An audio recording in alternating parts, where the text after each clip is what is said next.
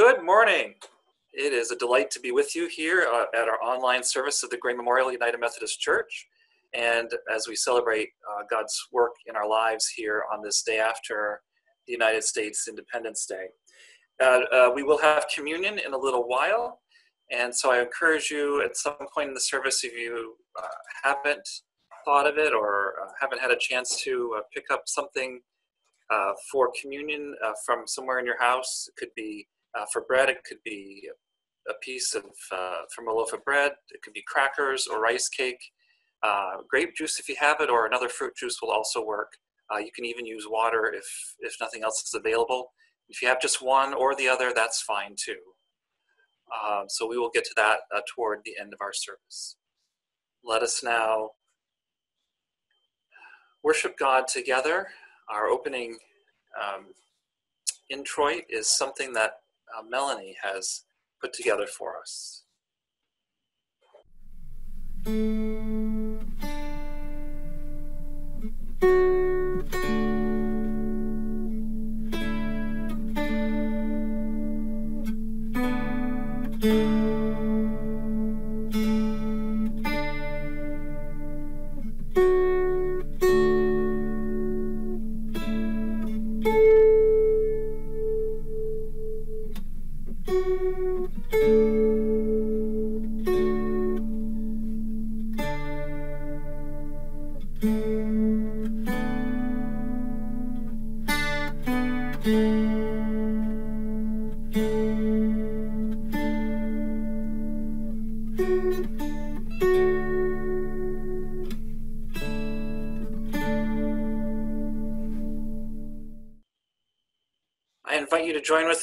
To worship. You will not necessarily hear one another, but uh, be assured that our voices are joining in with you.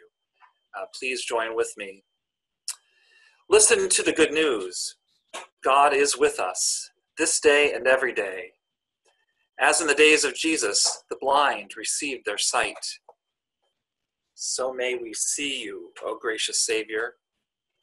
As we receive our sight, as we see you more clearly, May we also see our sister and our brother, the hungry and the poor, those who are black, brown, white, yellow, those who live next door and those who live half a world away, all our neighbor to us when we call you Christ.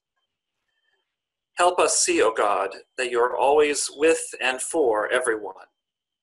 Open our eyes as we sing, open our hearts as we pray, open our lives as we worship you this day. Our opening hymn this morning is uh, a song that is, uh, by its, the very title of its tune, national hymn, one that is uh, sometimes used at patriotic occasions, but also one that reminds us who our ruler truly is. Hymn 698 if you have a United Methodist hymnal, but the words will also appear for you on your screen. God of the ages.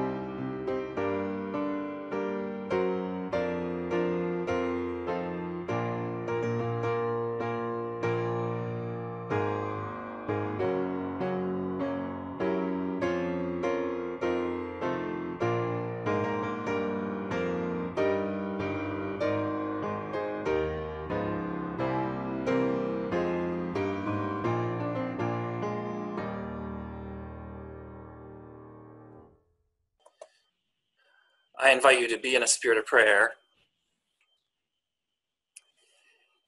You do not tarry, O God of all goodness, to show us your favor. You hasten to hear us whenever we call. Bathed in the brightness of your radiant love for us, we can see clearly your care for all that you have made. Through Christ, now, open our eyes to the splendor of your redeeming grace. We worship you, God, Christ, and Holy Spirit, blessed Trinity, forevermore. Amen. I am delighted to have for us this morning for our, our special music, a recording that Margaret has made for us of a piece called Shout to the Lord.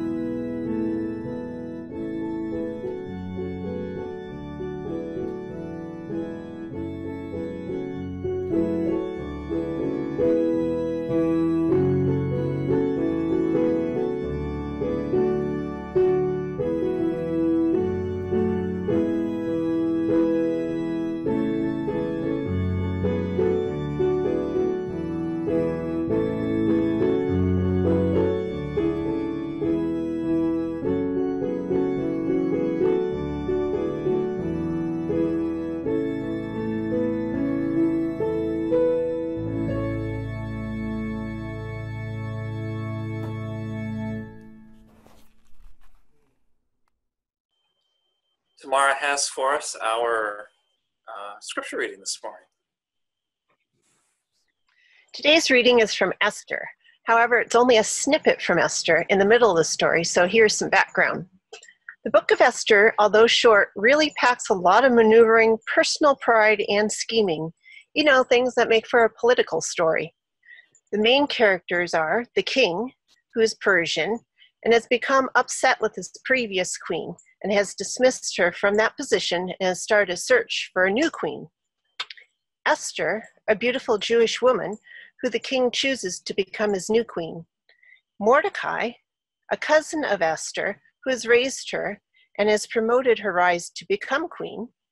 And Haman, a man who's been promoted by the king to be the top official. After Esther has become queen, Mordecai who has been hanging around the gates of the palace, um, seeing how things go and still make, supporting Esther as he can, ha- hears of an assassination plan against the king between two of the king's eunuchs.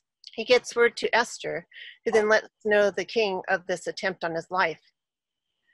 Um, Haman becomes very upset with Mordecai, who refuses to bow down before him, a high king's official and he seeks the king's permission to not only kill Mordecai, but all Jewish people, as they will not down before the king and his officials and are disobeying the king's command. After venting his displeasure with the lack of respect he feels uh, shown towards him by Mordecai to his wife and friends, they recommend that a gallows is built in their yard to hang Mordecai when the time comes. Mordecai lets Esther know about the plan against the Jewish people and asks her to seek the king's audience to reverse this decision. This is at great peril to herself, as one doesn't simply go to the king unless called, which she has not been. However, the king sees her and invites her to talk, and she invites the king and all of his top officials to a feast which she puts on. This goes so well that the king says he will give her anything that she wants. She says that she would like the king and Haman to come to a feast, and then she will tell the king what she would like. Now, to pick up the story, it's from Esther chapter 7, verses 1 through 6, also verses 9 through 10, and then it skips to chapter 9, verses 20 through 22. So the king and Haman went into the feast with Queen Esther. On the second day, as they were drinking wine, the king again said to Esther, What is your petition, Queen Esther? It shall be granted you. And what is your request? Even to the half of my kingdom it will be fulfilled. Then Queen Esther answered, If I have won your favor, O king, and if it pleases the king, let my life be given me. That is my petition, and the lives of my people. That is my request. For we have been sold, I and my people, to be destroyed, to be killed, and to be annihilated. If we had been sold merely as slaves, men and women, I would have held my peace, but no enemy can compensate for this damage to the king. Then King Ahasuerus said to King Esther, who is he and where is he who has presumed to do this? Esther said, A foe, an enemy, this wicked, wicked Haman. Then Haman was terrified before the king and the queen. Then Harbona, one of the eunuchs in attendance on the king, said, Look, the very gallows that Haman has prepared for Mordecai, whose word saved the king, stands at Haman's house fifty cubits high. And the king said, Hang him on that. So they hanged Haman on the gallows that he had prepared for Mordecai. Then the anger of the king abated. Mordecai recorded these things and sent letters to all the Jews who were in all the provinces of King Ahasuerus, both he, near and far, enjoining them that they should keep the fourteenth day of the month Adar, and also the fifteenth day of the same month year by year, as the days on which the Jews gained relief from their enemies, and as the month that had been turned for them from sorrow into gladness, and from mourning into a holiday, and that they should make the, them days of feasting and gladness, days for sending gifts of food to one another and presents to the poor.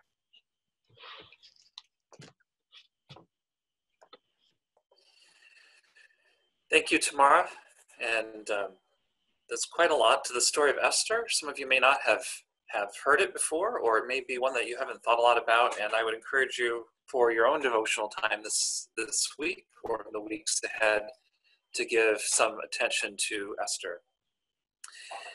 Um, the theme of uh, today is about speaking truth to power and how it takes courage and integrity to do that. Uh, the title of my sermon this morning is Finding and Using Your Voice. Finding and using your voice. But would you please pray first with me? Gracious God, may the words of my mouth and the meditations of all our hearts together be acceptable in your sight, O Lord, our strength and our Redeemer. Amen. A minister was speaking to a uh, class of boys on the merits of moral courage. And he said, by way of illustration, so suppose there were 10 boys sleeping in a dormitory, and only one of them knelt down to say his prayers. Now that is moral courage. Now, boys, would any of you like to give me another example of moral courage? Please, sir, said one boy. Ten ministers were sleeping in a dormitory, and only one of them jumps into bed without saying his prayers. I suppose it could be fun to joke about uh, moral courage um, throughout our nation, indeed throughout the world's history, uh, including up into the present time. It is not easy to be people of courage. So often we do not wish to rock the boat to say the unpopular thing, to risk our lives or risk our standing or really to take risks. Um, in some ways, the church in this way has been too silent so often. It's hard to find our voice when there are so many other interests that want to speak for us or even use us. Esther is a, fa- a fascinating, I think, kind of story. Many, if you've read, uh, if you've read some of Esther, will find that uh, it is often cited that it's the one book in all the Bible that does not mention God. Uh, because of this, some felt it did not deserve inclusion in Scripture. I am very glad that it is. Sometimes in our lives, God's presence doesn't have to be named for it to be obvious God is at work. Or to put it another way, it doesn't have to be explicitly said out loud what God is doing if it's clear that God is a part of what is happening. This story of Esther can be looked at from many perspectives, but I, given our current conditions today, and it's always it's been fascinating doing this series, which I planned long before COVID nineteen, how much this series is speaking to our present situation, and how many of these stories I've I've rethought or sermon ideas reworked because of, of our present uh, conditions. But Esther speaks to these in many ways. One of those is as a as a whistleblower. This is an idea from Pastor Bob Kaler.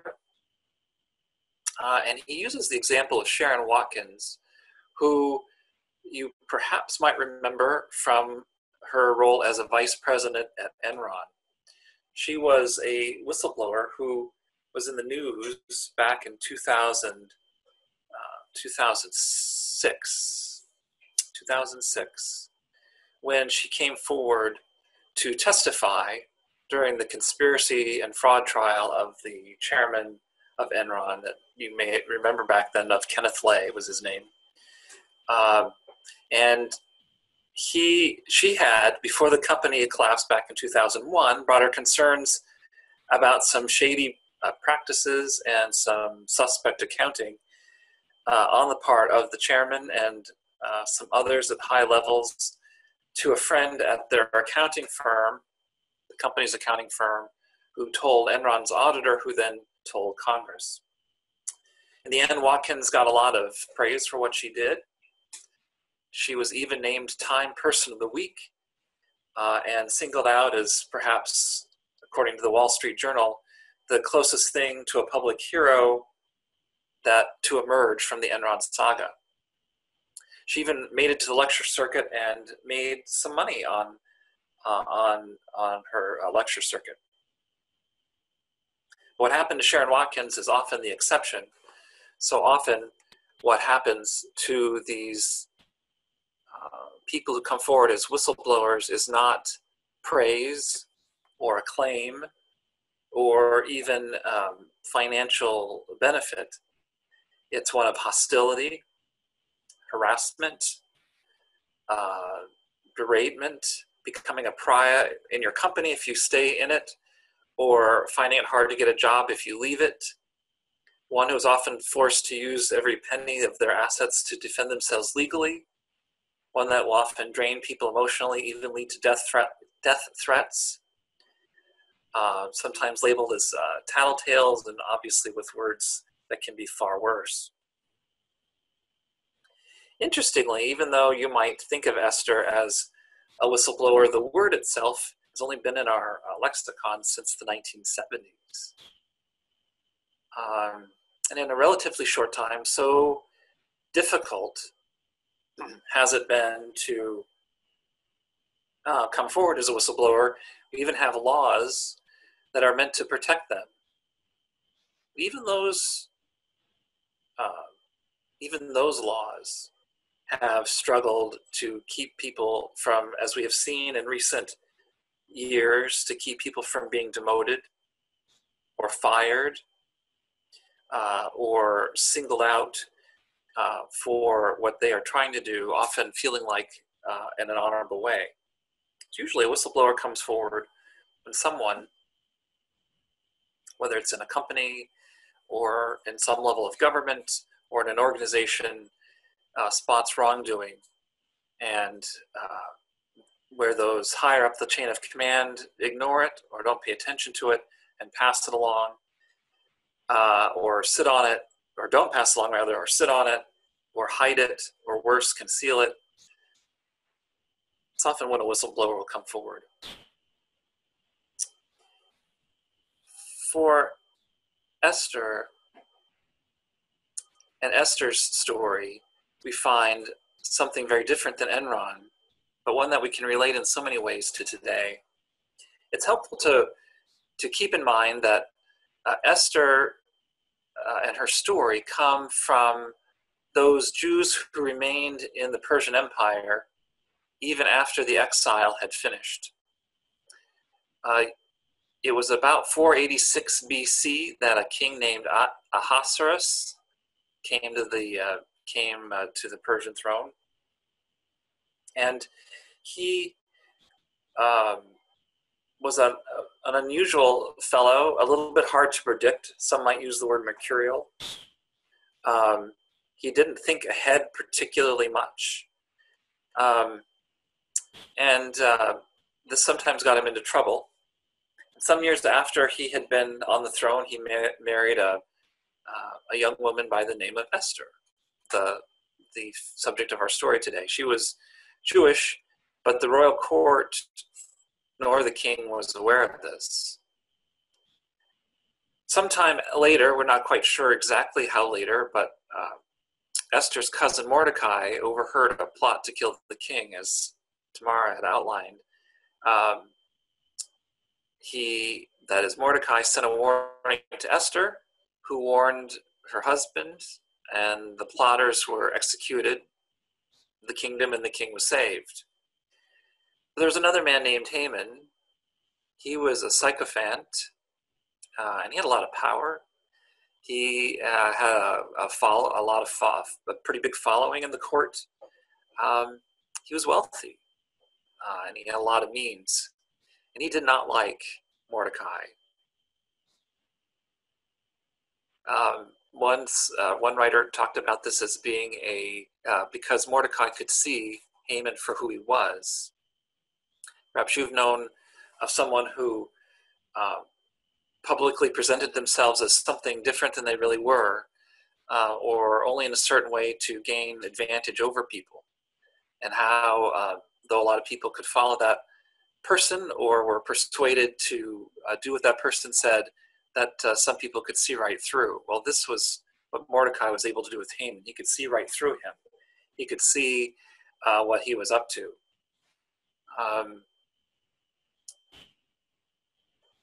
Esther's intervention in Haman's plan to kill the Jews in revenge for what Mordecai had done was a lot riskier than one might think. Um, and as Tamar had outlined for us, she couldn't do this uh, the way you would normally think of, well, of course, a wife could go see her husband.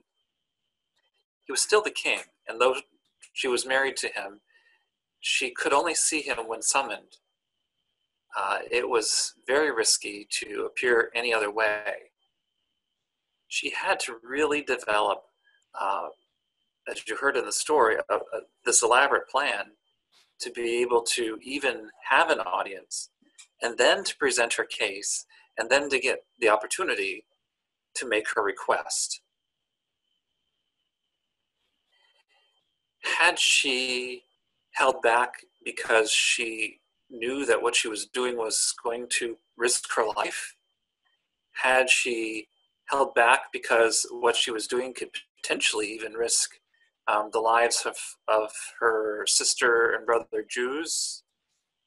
Had she held back because she feared for what the king might do, broadly speaking?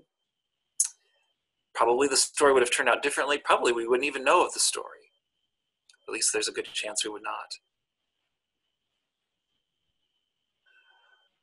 so often in history, it's the one voice, or maybe a couple of voices, that are able to speak out and speak up that make the difference. Sometimes we don't even know when we see something that we think is wrong or we know something in our heart doesn't feel right. sometimes it's hard to know how to even put into words what we're seeing. We just feel a, in our gut that something is amiss. We feel in our heart that something isn't quite right. But even when we can form words, whether it's on paper or words we know we could speak, it's very intimidating to speak, whether it's to a governmental official, uh, to law enforcement, to a pastor, to uh, a boss, um, to the owner or uh, manager of a business, um, to the leader of a, of a nonprofit, to a congressperson or senator, it's often very frightening, especially if we realize that our name could be attached to a complaint. Um, we will often hope somebody else will step forward, that someone else will take on the risk. You could look at recent examples and whether you, whether whatever you felt of um, the politics of what they might be saying, you know that when Christine Blasey Ford came forward to testify to Congress about the Supreme Court nominee, what uh, she went through and continues to go through as a result of coming forward. Or perhaps you might think of Colonel Vindman in his testimony before Congress uh, early this year. They, uh, both emotionally and in uh, professional terms and in, for their families, have uh, paid a significant price. Esther showed us a real model for courage. Not only did she see something that was wrong and thought about how to say it, she put together a plan knowing that it would be at risk to her, but it was also something that had to be done. So celebrated is what she did, so celebrated that what she did that Jews today have a festival named in the honor of these events. It's called uh, Purim. And uh, it's a story really about uh, the goodness that can come from our, our actions uh, on the behalf of others. You might say that the characters in the story today represent characters not only in their own time, but characters in our time. You have, for example, King Ahasuerus. Uh, he was rich and powerful, privileged, uh, somebody who made, was made to rash decisions. Um, not particularly good or particularly evil, um, uh, but someone wanted who uh, wanted things to continue to go well. Uh, certainly for him, uh, doesn't really get uh, particularly deep into the details. Um, and somebody, if we were drawing comparisons today, might be to the leader who wants to be able to say, "I wasn't aware of it." even if something goes wrong in his empire or his organization. He's quite content to let other people handle the details and he handled the big, big picture things. You have someone like Haman who truly personifies evil in the story. Uh, someone who's vain and greedy, uh, hateful, uh, out to get all that he can, uh, very sneaky, very wealthy, and has a position of power. Uh, also, very dangerous. Um, he's the go to guy, not only when you want something done, when you want something done that will stretch uh, the boundaries of what is acceptable. In our world, uh, world today, we might call them the establishment, or the agency, or the corporation, um, or the administration of a company or organization. Uh, like Enron might have been considered. You have Mordecai, the one who is good and decent, but has neither wealth nor power nor position. Um, we might call him the consumer, uh, served by uh, the administration of the court or the government that was represented by the empire. But truthfully, people in high places and high positions don't really care much about people in his place. They are merely subjects to be handled as the king sees fit. And then, of course, you have Esther. Esther is fascinating because since she's married to the king, she is an insider, but she has no particular power or influence. And although she is a queen, it means very little. It's almost one small step uh, better than Mordecai. She might, on occasion, have the king's ear, but she has no real authority in any way. It's nothing like a marriage of equals that we would think about um, commonly uh, in today's world. Um, uh, being queen simply meant that among the many women that the king was married to, um, in the king's harem, as you might say, she was the first among them. Um, but again, that, that had very little um, major significance. Esther is notable because of the goodness she shows. This goodness comes out in several ways. One is that it is a goodness that is courageous, um, but it's not in the superhero mode. It, it, this goodness doesn't fly out of the air like Superman, and it doesn't swing through uh, from building to building like Spider Man. Uh, this goodness uh, confronts head on the situation, uh, takes on some risk uh, for the betterment of others. She clearly puts herself on the line to save many, many, many more people. Her goodness is also, uh, and this again comes from Pastor Bob Kaler, talks about uh, a goodness that's rooted in God.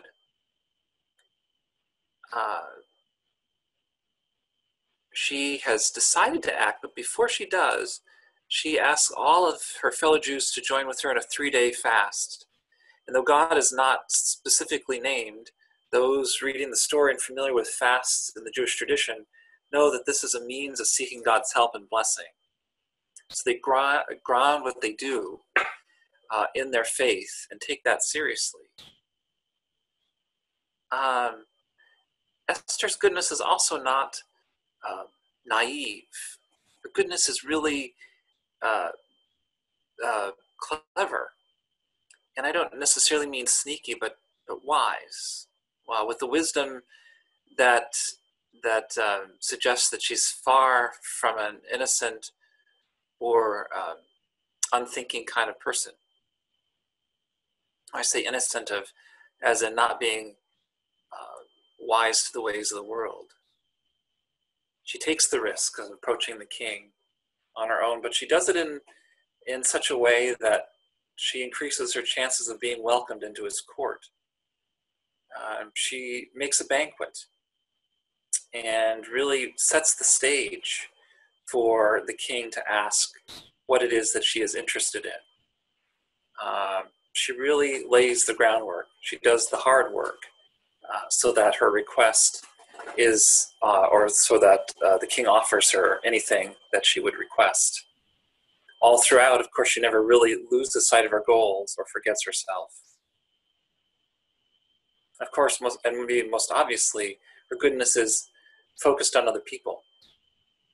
Although she was herself in no immediate danger, maybe would have even escaped the uh, the uh, the death that was to come to the Jewish people. She nonetheless acted on behalf of all of them, uh, even at the risk of herself. She didn't have to be a martyr. She didn't even have to sacrifice herself to uh, point out the unseemly actions that were taking place in the presence of the king and in his court. It's this goodness, it's a powerful force when we unleash it. And sadly enough, often when people gain power, even those who've been good will find over time that that power will corrupt them that they become comfortable with the power or invested in the benefits of the power, even when they begin to use that power against or not on behalf of those that they're supposed to serve. Character of a whistleblower is a lot like this goodness that Esther has shown.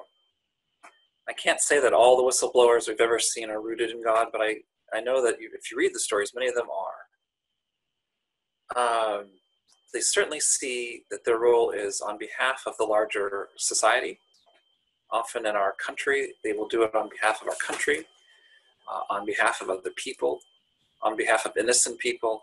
There's always a, a focus on someone else. Um, there's often in these people a moral compass that helps them to di- discern when something wrong is being done at the literal expense of another person or group of people. Um, and yes, so often these people have a profound courage.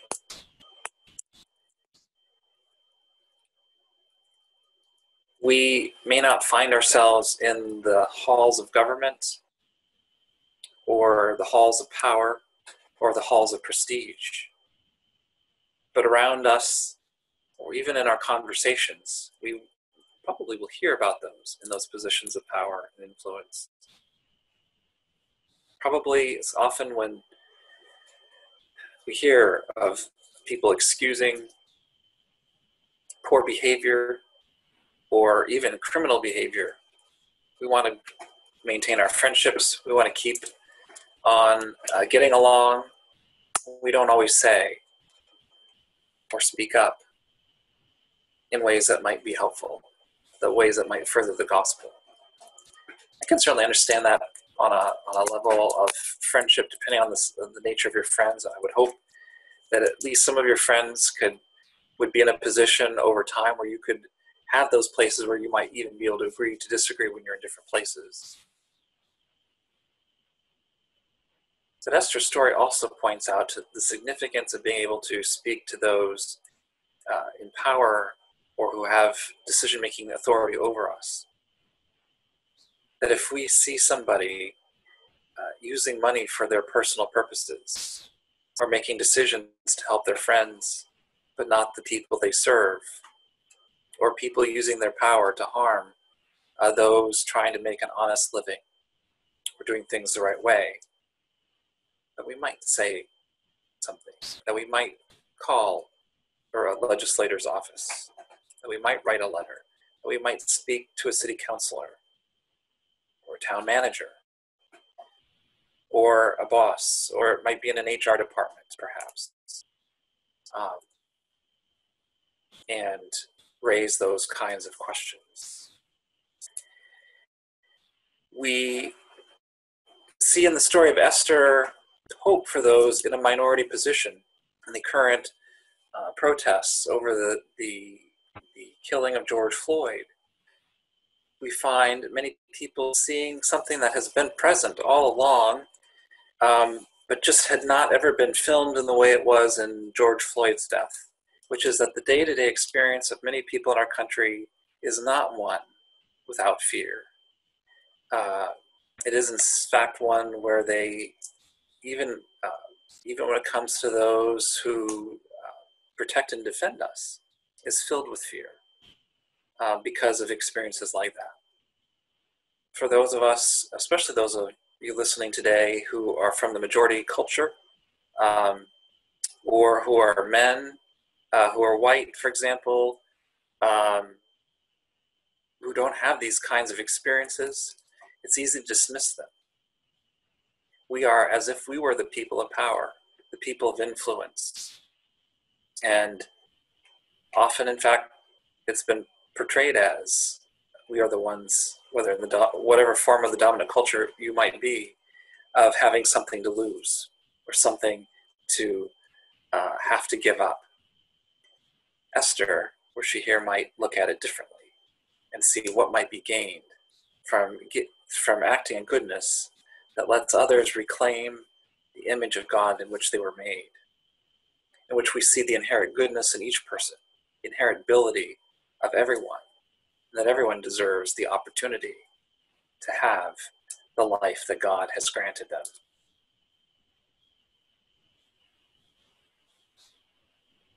Course, Esther's story also gives hope for all of us, because in the end, goodness is, as the hymn says, goodness is stronger than evil and love is stronger than hate. Even if it doesn't always turn out that way in the world because of the reality of human sin, we know at the end of, of uh, time, the way God has thought about it, whether at the end of our life or the end of the world as we presently know it, whenever that day may be, that God will have the last word, not the evil, not the carnage, not the horrible actions of some, but in the loving wonders that God has offered. When we come to the table in a few moments, we celebrate that goodness God gives us each and every day. Let us pray. Holy God, we thank you for all that you have given us, especially the wellspring today of courage that dwells in each of us. We may not feel like courageous people, we may not feel like we have a voice. Help us so to center ourselves on you that whether we are outspoken and outgoing or reserved and to ourselves, we can find, even in small but no less significant ways, ways to speak up when we see somebody's integrity or livelihood or well being threatened. Threatened because of selfishness, threatened because of greed, threatened because of a drive for power, uh, threatened because of our own ignorance, because we assume too often that other people live lives like us, think like us, and believe like us, that there could be no one else in no other way. So come to us, O Holy Spirit, that we might have the courage to live the convictions of our faith. For it is in your name we pray. Amen. As we um, come to our time of prayer, I would first ask today if anybody has a uh, has a, a prayer request that they would like to offer.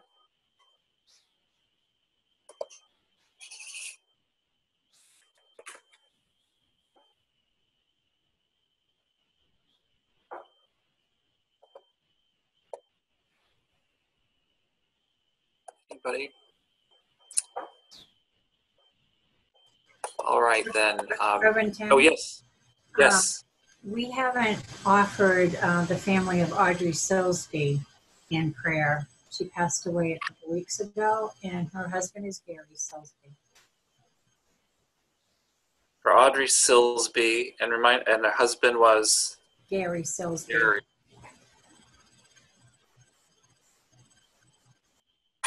Who was the son of Ward Silsby. Many of you know both. Um, thank you, Bobby, for that. Anyone else?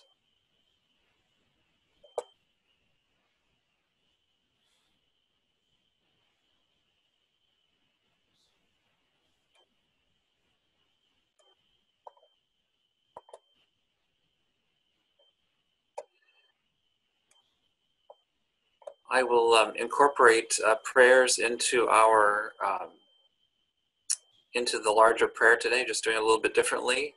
Um, and I invite you to pray for these people of our congregation as well as um, farther afield, uh, these people that we think about uh, each week as we pray. Uh, let us pray together. Holy God, we thank you on this day for all of the goodness that you offer to us in our lives.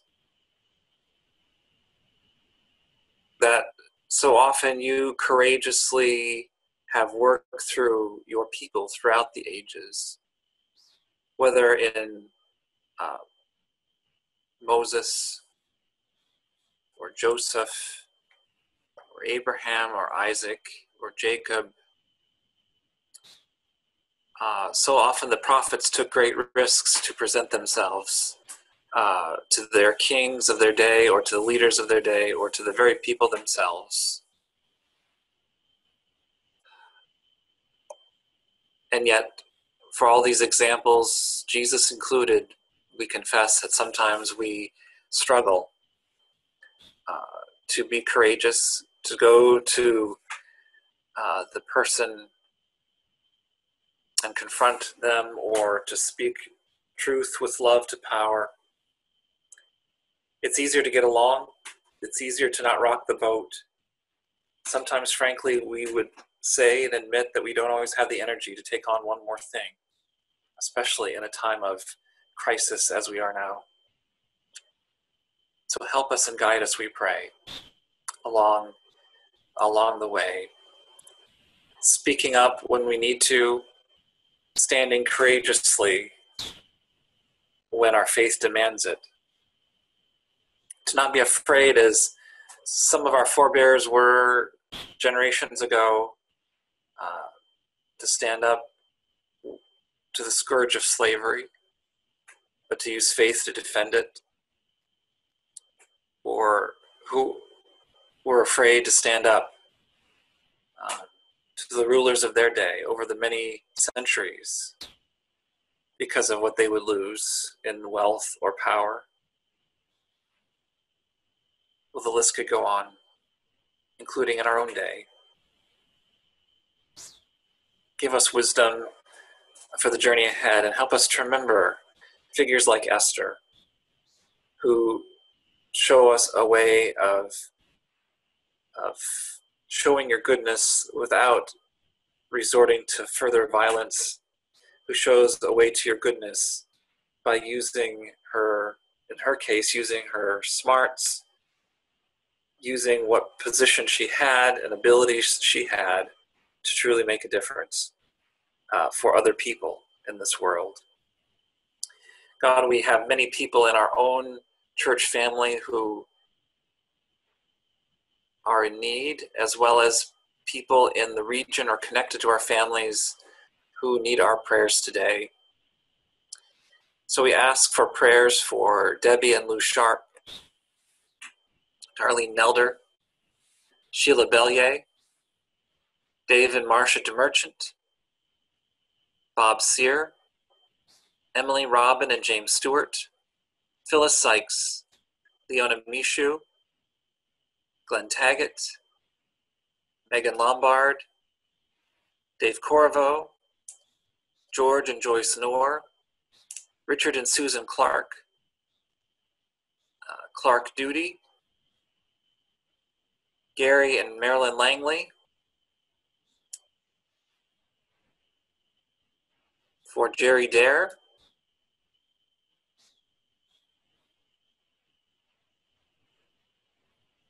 Ruth Hare, Herman Wright, Emily Dyer, and for Audrey Silsby. We know that you hear our prayers for these persons and others in our hearts and minds today.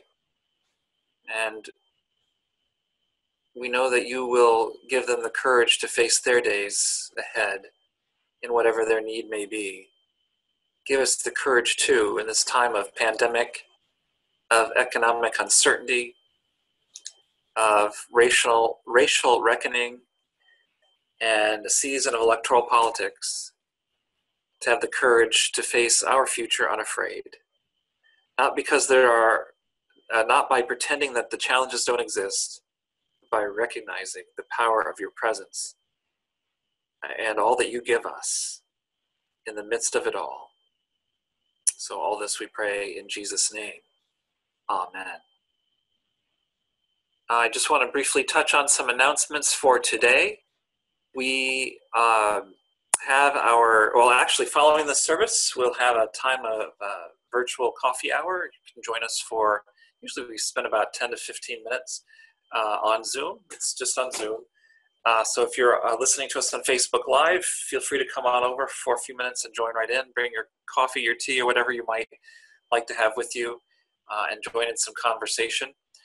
Uh, on Tuesday night is our town hall uh, session, an opportunity to review the work of the reentry task group and to ask the questions that you might have. You should have by now received a survey, and you have through Wednesday to return uh, to return your survey to be tabulated in our results. That'll be a big help to the to the uh, reentry team as they consider options for the weeks ahead. Uh, you should also have received or should very shortly receive the full plan. Um, everyone should have that by the time we uh, meet on Tuesday night. That was mailed out last week. Um, if you're unable to join us that night, uh, but have questions, feel you can certainly email them to me or email them to the church office so we can include those in our session uh, on Tuesday night. Also, uh, as you heard, those of you with us last week, Jocelyn continues to look for uh, or, to advertise for our VBS in a box. If you have uh, children, grandchildren, nieces, nephews, or people in the community that, that might be interested in this uh, unique way to do Vacation Bible School in an online format, uh, if you can let the church office know and or Jocelyn Langworthy, um, that would be uh, a great help to her. Uh, uh, the last Sunday of this month, July 26th, we are planning an outdoor service. We uh, will move that a week later if weather intervenes, and uh, the worship committee will be meeting this week to work out further details. If uh, so, we should have more instructions about how to be something that we will do through, um, you know, using social distancing techniques uh, and other uh, health uh, guidelines that we've become accustomed to over the recent weeks. Uh, we are hoping that um, if it works well, we might, at least while the warm season is with us, be able to do some more of those um, services. Are there any other announcements uh, to be made this morning?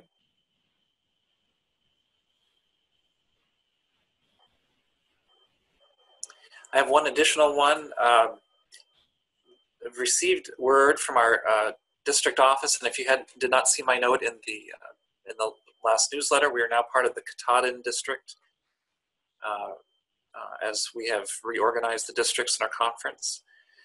Um, that there is a group assembling from uh, from throughout our conference to work on questions of how do we as a church respond to the questions of race and um, uh, and respond to some of the the, uh, the movement that has been happening around our country. Some of you may have seen, in fact, we've had uh, peaceful protests in our own communities these last weeks. If you have an interest in that, each church has been invited to have one or more people be part of a group, um, to be part of thinking about how we as a church can be part of that effort. Uh, indeed, it might feel very courageous to do that, depending on your experience. If you could let me know, um, so I can let the district office know, they'd like to know by the end of this week, so by Friday, uh, if there's somebody from our church who would be interested in being part of those conversations and that work.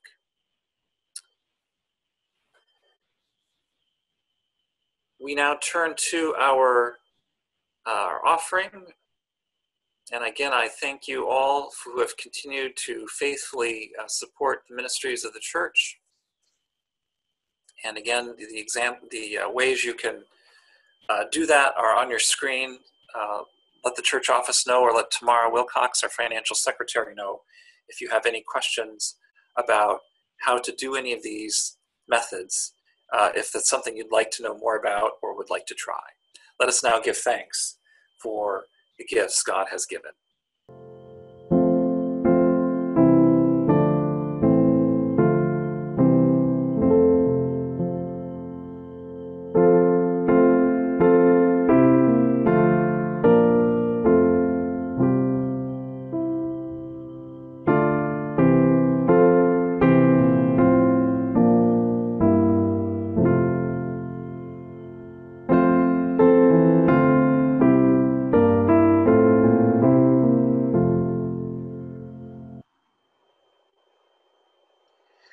Us pray. Holy God, the giver of all good and wondrous gifts, we thank you for all that you have given, and we pray that you can continue to use these gifts, albeit them in ways that we had never imagined through uh, four, five, six months ago. Um, but continue to use them for good in our ministries and in our communities. Help us have good courage uh, and wise wisdom for the living of these days and the using of the resources you have blessed us so much with. For it is in Jesus' name we pray. Amen.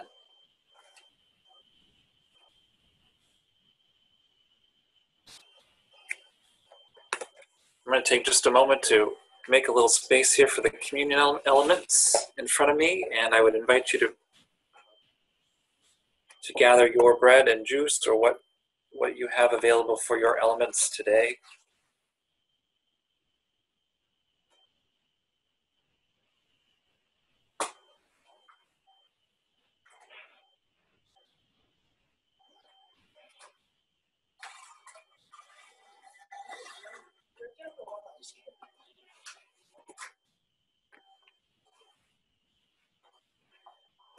Uh, the responses will appear on your screen.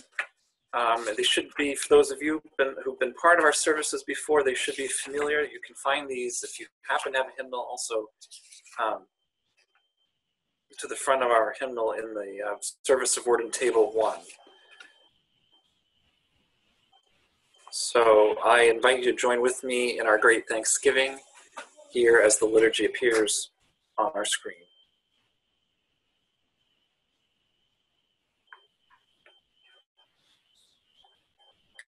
The Lord be with you. Lift up your hearts. Let us give thanks to the Lord our God.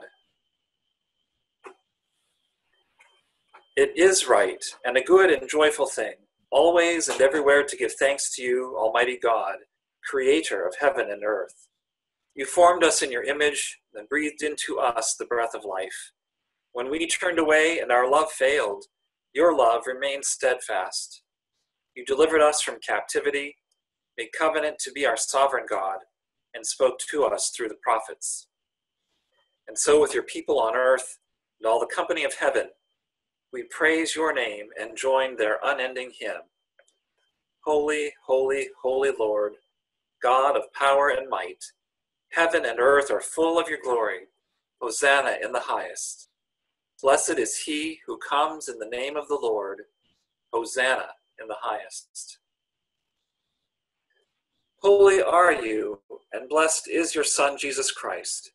Your Spirit anointed him to preach good news to the poor, to proclaim release to the captives, to end recovering of sight to the blind, to set at liberty those who are oppressed, and to announce that the time had come when you would save your people. He healed the sick fed the hungry, and ate with sinners. By the baptism of his suffering, death, and resurrection, you gave birth to your church, delivered us from slavery to sin and death, and made with us Spirit. When the Lord Jesus ascended, he promised to be with us always in the power of your word and Holy Spirit. On the night in which he gave himself up for us, Jesus took bread gave thanks to you, broke the bread, gave it to his disciples, and said, Take, eat. This is my body, which is broken for you. Whenever you eat this bread, do so in remembrance of me. When the supper was over, he took the cup, gave thanks to you, gave it to his disciples, and said, Drink from this, all of you. This is the cup of the new covenant poured out for you and for many for the forgiveness of sins. Whenever you drink from this cup, do so in remembrance of me.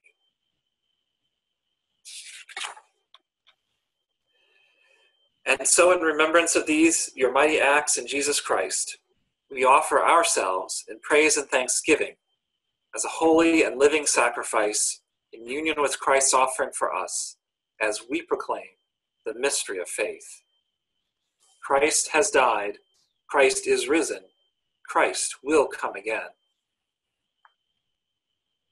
Pour out your Holy Spirit on us gathered here and on these gifts of bread and cup. Make them be for us the body and blood of Christ, that we may be for the world the body of Christ, redeemed by his blood. By your Spirit, make us one with Christ, one with each other, and one in ministry to all the world until Christ comes in final victory and we feast at his heavenly banquet.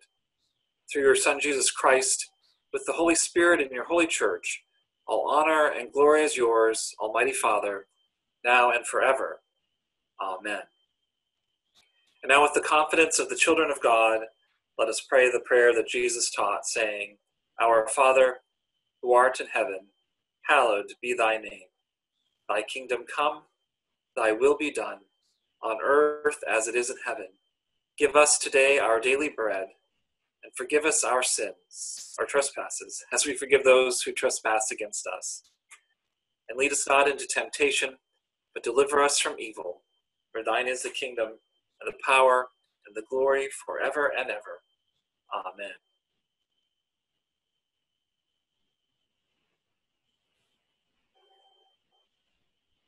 Because there is one loaf,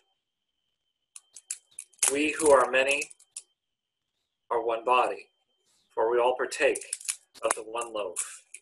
The bread which we break is a sharing in the body of Christ. And I invite you to take whatever form of bread you have with you uh, and symbolically break it along with the rest of us, signifying not only the brokenness of our world, but how in that brokenness, Christ comes and meets us in those broken places as an agent of healing and of grace.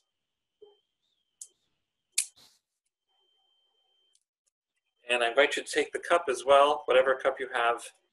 And remember that this cup that we give thanks today is a sharing in all that Christ offered in his life and continues to offer in the Holy Spirit today. It is our tradition in the United Methodist Church to observe an open table. That means you do not need to be a United Methodist to respond to the invitation to come to the Lord's table. If you are with others today, I would invite you to serve one another. You can use words like the body of Christ given for you, or the blood of Christ shed for you, or you can simply do it in silence, knowing that God hears the prayers of your heart. Let us take a few moments now to receive the gifts that God has given.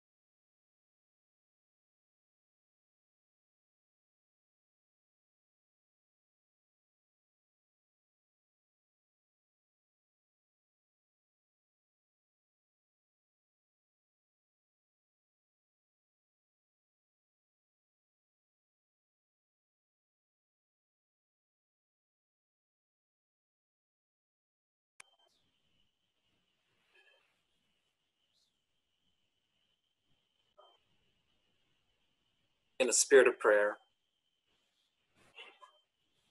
Eternal God, we give you thanks for this holy mystery. And in fact, join in with me since uh, the words are on your screen. Uh, Eternal God, we give you thanks for this holy mystery, which you have given yourself to us. Grant that we may go into the world in the strength of your Spirit to give ourselves for others, In the name of Jesus Christ our Lord.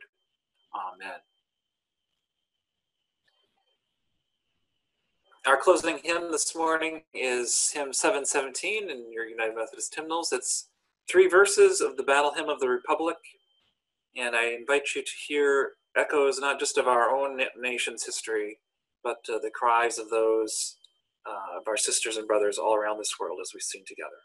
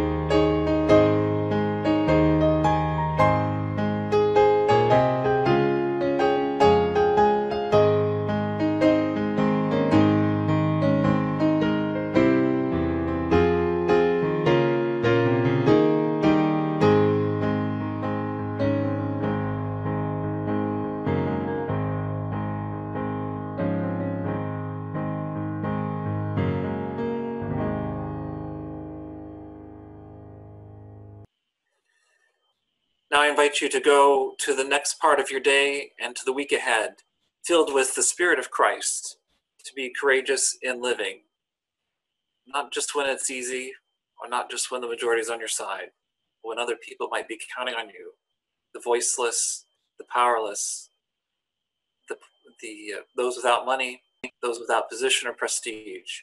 Go forward with the grace of our Lord Jesus Christ, with the love of God and the fellowship of the Holy Spirit because God the Father, God in Christ, and God the Holy Spirit have promised to be with us now and forevermore. Amen.